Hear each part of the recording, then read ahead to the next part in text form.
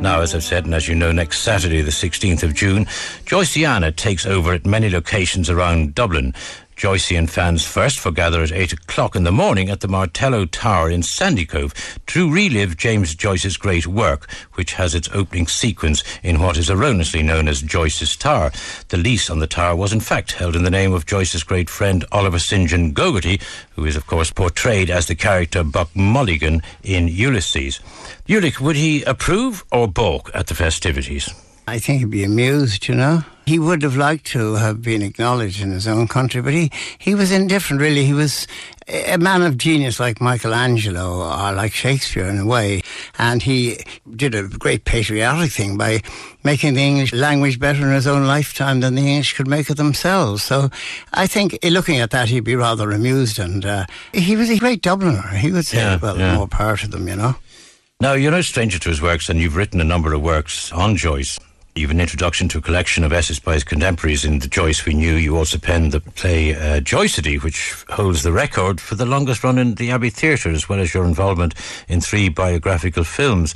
Which directly or indirectly deal with Joyce. In many ways, you're one of few existing tangible links to the man in that you knew his sister and his son Giorgio, among others. Yes, but uh, I think you're being a little uh, modest, if I may say so, Roger, because your father appears in uh, Ulysses. I know your great grandfather, great-grandfather, yeah, yes. yeah. In that scene where Leopold Bloom is passing by Roger Green's office and Dollard's big printing house, Gerty MacDowell, etc., the Gerty MacDowell scene, the Nausicaa scene. Do you remember that building? I do. I remember 11 Wellington Quay well, very well, in fact, and the Dollard's printing was a couple of doors up, yeah. And then there's a very good one, your, your reference to uh, Roger Green, great grandfather again. Typist going up Roger Green stairs two at a time to show her understanding. Now, that is ambiguous, of course, and it's typical Joyce, but. Uh, It is, but I think it's fairly translatable. It's talking about her attractive legs, Yes, of course. understandings. I mean, Yes. typical but, Joyce. uh, I mean, and then I and then I knew your father, Yes. who's also. I mean, his name is there, and I knew he was a very stylish man, very fine golfer, and um, splendid solicitor in the tradition of the family. And then you made a film. About Gogarty, and in which there was a lot of Joyce. I mean, I was in it, so I well, remember it. The name of the film was Oliver St. John Gogarty, Silence Would Never Do, which is a quotation. So, I mean, you know, let's be fair. Yeah, yeah, well, yeah, but I mean, that, that's all tangential Yeah, uh, apart from yeah. the film, I suppose. Let's just talk about his family, his actual growing up, because, I mean, it was a childhood of differing fortunes, wouldn't we say? Oh yes, uh, father a gentleman, Cork gentleman, um, a Catholic, almost upper class, and a great singer. But he, he was a man. Uh, he in Dublin, and he had the usual sort of brewery job, and gradually drank his way out of the whole lot. But he was a great influence on Joyce, wasn't he? His father. Yeah, profound. yeah. I mean, when he died, Joyce nearly died. He actually said he was thinking of stopping working ever again. Writing to his great friend, uh, Harriet Weaver, who supported him all his life, Joyce said, I got hundreds of pages and scores of characters in my books from him. And he said, there will never be the like. But here's the funny thing, Roger. Just before the First War, he left Dublin. He never went back to see his father again. And mm-hmm. yet, at one time, he was in Bognor in Wales. He could have brought him over for nothing, really. And he just received a quarter of a million in today's money from Harriet Weaver. And I often wonder what it was. Did he think that he had created Dublin by taking it away going away from Dublin and taking it, as he said, I took it with me. And he said it was an umbilical cord for me. Did he feel that by going back, if he met the father, even if he brought him over, that the whole of the Dublin of the past that he believed would again be revealed to him and it would be too much? Because there's something funny, he loved his father and yet I he couldn't about meet to say because his affection for his father was Yeah, yeah, yeah. absolutely sacrosanct. Yes. You know, so apart from anything else, it must have been an emotional wrench Yeah, for yeah. both of them. Oh yes, and Yeah. of course he always talked about James and his clever uh, son and all that sort of thing. But I think that he had taken it with him. Yeah. And if you came over to visit him, as so many of my friends in the law library who'd been at college with him, like Willie Fallon and Tom Bacon and people like that, he'd always be asking you so and so shop. He could recite every shop at O'Connell Street and Grafton Street, Yeah, yeah. And so and so shop wasn't there, he'd say, "Well, why did they knock it? Why did they change?" As if Dublin in his mind was not to be changed because it was forever created in the book. That great quote, of course, is that the whole of Dublin could be reconstructed if it was written by the H bomb by, from Ulysses alone. Yeah, Whether yeah. it would apply today or not, I don't know. Uh, we, have done, we've brought our own H bombs in to do it. The city well, manager with a beautiful symbol of the phallus, a phallic living up in the middle of the street. Before he left Ireland for the continent, he was in UCD, and obviously that was very much part of well, University College. College Dublin, yeah, yeah, yeah, yeah University College Dublin, yeah.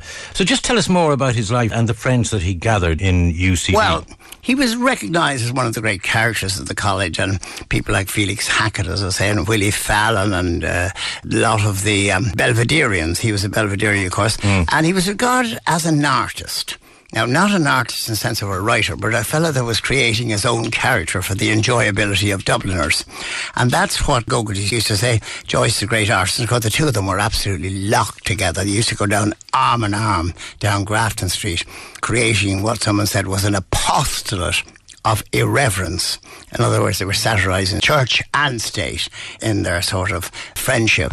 They used to go down to the brothel area there, which was down there past Parnell Street into Gloucester Street and Tyrone Street, as it was known in those days, at Sean McDermott Street today. And they go down, and not basically for the brothel reason. They were, mm. It was a hmm. great place to meet people, have a chat, have a drink. And of course, Gogarty got on like Billy O with the, with the madams. Oh, Dr. Gogarty, because even they always call students doctor. Yeah. But Joyce was very nervous, funnily enough, in that atmosphere. And he used to go into a corner and sing Gregorian hymns. So Gogarty uh, wrote a limerick about this. He said, There was a young fellow called Joyce who possessed a sweet tenor voice.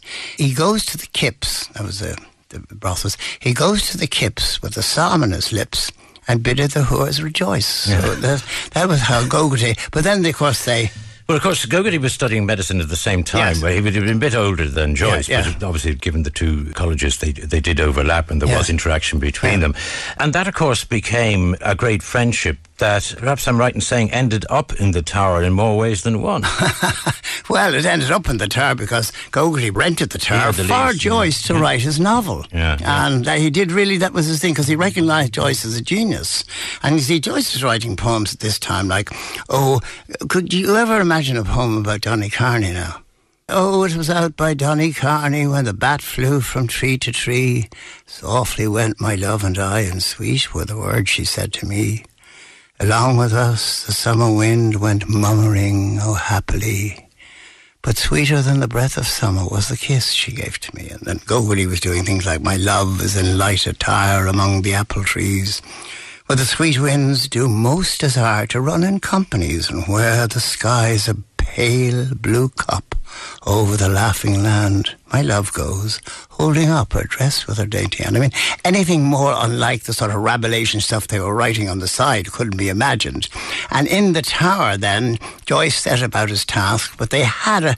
We won't go into the time they spent because it's disputed, but yeah. it wasn't a great deal of time. It could be. It could be five days, and it could be. I think when he left the tower after the row, yeah, he came back from time to time. I don't think the, the row was cemented, and then of course he went off with Nora in the October yeah, yeah. going in there about August. yeah. Just to finish up on Gogarty, I mean, we know that Joyce left the tower after a row, and I mean, it's believed, uh, or yeah. certainly stated about this uh, hallucination of a, a panther there, yes, and, and yes. your man, uh, Chenevix's Trench, Haynes, in other words, in, in, the novel, uh, shoots at him. At that stage, a kind of bitterness happened between the two of them, didn't it? Oh, yes, they did. They did, have, they did have a row, and uh, after he got away, he came back, and then uh, before 1910, and he met Gogarty again, and then he went off. And then they had rows again. But really, I think Gogarty, in his later years, I was walking past Ely Place where he used to live. And he suddenly turned around to me and said, The most beautiful book in the English language, he said, is A Portrait of the Artist as a Young Man by James Joyce. So mm. that, that, was first of all. And then second of all, there's a letter of Joyce when Gogarty crashed his plane. He used to fly down to Renvyle and land on a beach the size of a postage stamp. And he had a crash. And Joyce said, I'm glad to see Buck Mulligan. is all right. He said that in a letter. That Buck Mulligan was the name he gave him in Ulysses. And that may have been the reason Gogarty was angry. I don't know that he was in Ulysses. But the third thing is rather nice.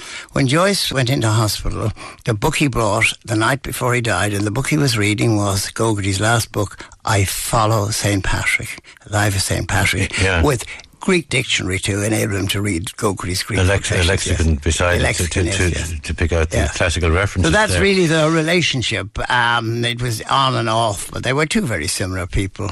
Um, one stayed, of course, till 1939, i.e., Gogarty, and the leaving of Ireland and the, the exile. I mean, you've, you made the point that he took Dublin with him, but his returns to Dublin were very few and far between after that, weren't Oh, they? two, just Yeah, two, and then yeah. and then he stopped just before the war. No more. He said that if the French Queen who died said that Calais would be written on her heart, Dublin would be written on mine. He told that to Mary Sheehy, Mary Kettle, as she later became.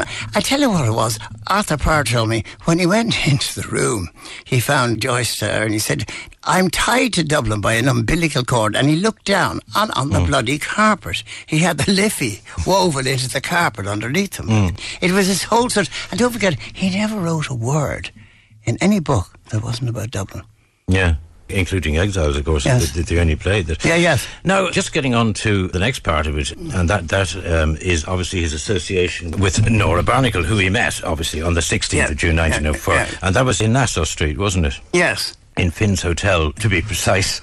Therein lies a tale, insofar as I couldn't find the site, if you recall. It wasn't your fault, really, because I'm not very good at describing it. But if you walk down Nassau Street, as the Dubliners call it sometimes, you'll see the side of a big house facing you. It's inside Trinity, and on it is written Finn's Hotel, and that's where Nora was made. But we Yeah. mustn't think of her as so. She, she, yeah, yeah. She, she was lower middle class and um, highly intelligent girl, as was shown later. I mean, she spoke three languages, and she was an opera critic. Really, she was so good. At, like Jim, she used to sing operas with them. So she was a sophisticated person and not the sort of what you might call lump that the silly journalists and biographers talk of her about. You know, she's also rather good looking. Well, the fact that she spoke three languages, I mean, I've been to her house when you say she was uh, lower middle class. You, Yeah. you, you, you say she, it's a very modest house in Galway that she Yes. grew up in. Now, whether she was there right up to leaving Galway for Dublin, Yes. I'm not too sure on that one. But her father was a civil servant. Yeah. Her uncle was a civil servant, I should say. Right, so you yeah. can see her background. But you know this thing, Roger, that they're always saying, all the writers say, of course, she never read Ulysses. I don't believe that for a minute. I believe she read it a couple of times. But she was fed up with journalists coming up and saying, are you Molly Bloom? Or do you think of this Molly Bloom? She was a lordly woman. She knew how to handle her life. When James died, she went to mass every day. She lived in Zurich, the life of a lady, and she was a, a, no one in the world could have handled James Joyce. He would have, he would have, I think, finished after his second book, probably after Portrait of the Artist, if it hadn't been for Nora. Should Bloomsday become a public holiday? Ulick, have you any views on that? Nah, Just as a thing, shagging But it's come up many times. That's the that's the only thing, particularly Well, you know in yeah. relation to the tourists. By the way, let me say about Yeah. that, incidentally, public holidays, that Joyce was f- fascinated by Father Charles. It Yeah. was one of his great obsessions. He was always writing back about him, and that extraordinary, who was made a saint by the Pope. And why was he obsessed? Do you know?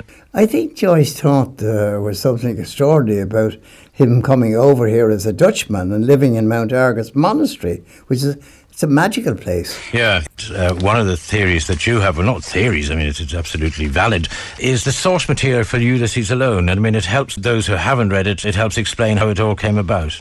The thing about Ulysses is that it was the first book in the English language and very nearly the last until very recently to be non-fiction. There was no story in it because Joyce took all the events that had happened as recorded by the Freeman's Journal the day before and tie them on to his characters. For instance, Leopold Bloom is looking through the gates of Trinity College and he sees the runners there, one of whom is H. Thrift. He happened to be Harry Thrift, later vice professor of Trinity, who lived next door to me. And all the things that happened that day are the basis and the structure for Ulysses. So he's saying to his reader, to hell with plot. I'm finished with plot. It's artificial. And I think the reason for that was that he could see with the prescience of an artist what was going to happen. That we would know so many ferocious plots today. Unbelievable. Charles Manson, Myra Hindley, all the Auschwitz, all these terrible things will become so immediate to it by television, radio, press, that plot was really no good. You had to take real life and create the characters that are in real life, create them and bring them alive. And that's what he did in Ulysses. They're all real people in a day. There's no plot. Yeah, Just yeah. one man Well- walking through a, a city and encountering on the way 12 or 13 different occasions, all of which correspond with a scene in Homer's Odyssey. Yeah. So Leopold Bloom is Ulysses and Stephen Dedalus is Ulysses' son. But then, of course, the other, the other, the major point there, of course, is the day after um, the seventeenth. Facts as reported in the Freeman's Journal. That's what I'm, Yeah, that's yeah, what I'm yeah, saying. That there was in the free that they are the facts that are reported there. Everything there is exact. It's on the rack of the Freeman's Journal. Ships that come into Dublin, people that move down the street, they move down the street. That day is reported in the paper. So Joyce was saying to the public, plot doesn't count. What counts is human beings. And these human beings survived time and Joyce's death to make the most remarkable literary figures of our time. Well, absolutely. Now, do you have to be educated to understand No, Joyce? no, you've just got to remember this. Four books, Dubliners, the best short stories of the century, new form again. It was like a mosaic rather than uh, a book of short stories. Secondly, a portrait of the artist as a young man, which is a biography, autobiography really. Easy. Ulysses getting harder, you've got to stick at it, and then we'll talk about Finnegan's Wake at the end, which Yeah. even to talk about puts the shudders up most people, you Well, know? yeah, it certainly puts the, sh- the shutters up me on. I think Yeah. I've got beyond page 10 Yeah. on about three occasions. Incidentally, not within the last 20 years. So, Yes. Well, can, I- I you, can you be- I- educate me and, and anybody else about Uh, Finnegan's for Wake? Finnegan's Wake. Well, Finnegan's Wake is written again, I think, for the 22nd century. It anticipates the computer because Joyce actually quoted Humpty Dumpty by Lewis Carroll, in which he said, I like portmanteau words that carry more than two meanings. I like three. I even like four. That's what Humpty Dumpty said. And all Joyce's Finnegan's Wake is based on words which have five or six meanings. Now you can ask, how in the name of the living Jesus can you find six meanings and go on to the next word? Well, the answer is in the computer age. You just press the bottom. What is it? Dot com, yeah, Dot yeah, com, yeah, yeah. and you get the answer. And you see, I think he saw this and he said, I have now written all the time about people awake. Here's sleep. And in writing about sleep, he wanted to get all words mingling in the way that they did. And how do you find that out? And as I say, you press the computer. Now, here's an example. Willie Fallon was a great friend of his. A barrister, much older than I was. He's a contemporary Joyce and a lovely person in the law library. And he gave me copies that had been sent to him by Joyce. He'd met him in Paris of Transition. I couldn't make head nor tail of them. These were actually featuring extracts from Finnegan's Wake, which Joyce was writing at the time. And Fallon said to me, I don't know what Joyce he used to call him is, is talking about. And I looked through these uh, extracts and I found a sentence. By the horns of the two Saint Colopes, I'll beat the Bective out of you. And I looked, I said to Fallon, uh, did you see Joyce before he sent it? Oh, yes, he said, I went over to see Joyce in Paris. I was president of the rugby union, and Joyce said he'd been at the match, which was quite extraordinary because, you see, he never played rugby at Belvedere. But anyway, he'd been there. He said he had to see the lads. So I went back to the bits that he sent uh, Joyce, and I found this sentence. By the horns of the two cent Colopes, I'll beat the Bective out of you. And I looked up the Bective Rangers' history. There were two Colopy brothers who played for Ireland that day in Paris that Joyce had seen them along with Fallon. And they were from Bective Rangers. So they figure in Joyce's Finnegan's Wake. How is our Chinese professor in the year 2005 to find that? I think he's much more likely to do it than the year 1945 because by pressing the computer, he'll arrive back at Bective Rangers in Donnybrook and he'll have more information. And basically, that is what I think all great artists are. They anticipate their time, and Joyce had a computer inside his brain that made him uh, do this sort of thing. I, on another occasion, I remember being with a Japanese ambassador in the house, and he said, I, I gave him a page of Finnegan's Wake. He said, There are six Japanese words for yes here. Well, I said, You recognise that. I couldn't, but of course the computer could. When it comes down to it, obviously you've read and enjoyed and Yeah. explored Yes. Finnegan's Wake. Lesser mortals like myself give up. Is it not a point of no return that an author, in writing a book that is that complicated, that it becomes relatively pointless? Well, I'll give you an example. I understand the difficulty because you can understand it, but if I tell you this before beforehand, that Joyce was writing about the Liffey at the start. You know, the Finnegan's Wake is really the Liffey, Yeah, and sure, Olivia yeah, Plurabelle yeah, is the yeah, hero. The yeah, Liffey yeah. is. And he was writing about the Liffey. And we know that the Liffey starts in the Devil's Glen and goes mm. through Sally Gap. And therefore, we can understand this sentence anyway.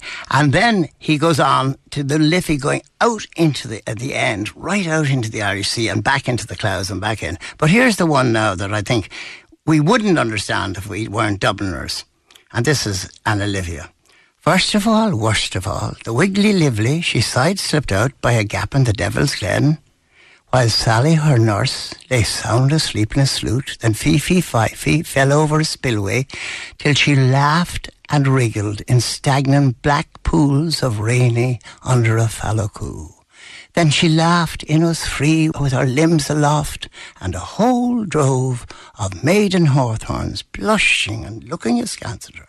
Now, doesn't that, hmm. in a wonderful way, convey water? It does, yeah. And yeah, the dance yeah. of the Liffey. Yeah, but I mean, it's taken in isolation, and it, it therefore works, and it's comprehensible to most No, but if people. you didn't know when what you're- Sally yeah. Gap, uh, then Oh no, well, of course, yeah. From that, but equally, I'm always astounded about the the amount of people writing theses of one sort or another on Ulysses that have never been to the country. and never read a book in the country either. But there's another one then at the end when the Liffey's coming out now and she's joining the clouds, so to speak, at the end. And again, if you're a Dubliner, you know the Poolbeg flasher is, Yeah, yeah. of course, the Poolbeg. Yeah. And may have another uh, calling it too. And Kishna is the Kish Lighthouse, but Yeah. of course it also is the Indian god. Yeah. Is that the Poolbeg flasher beyond, far, far, or a fireboat coasting there the Kishna, or, a glow I behold within a hedge, or my Gary come back from the Indies?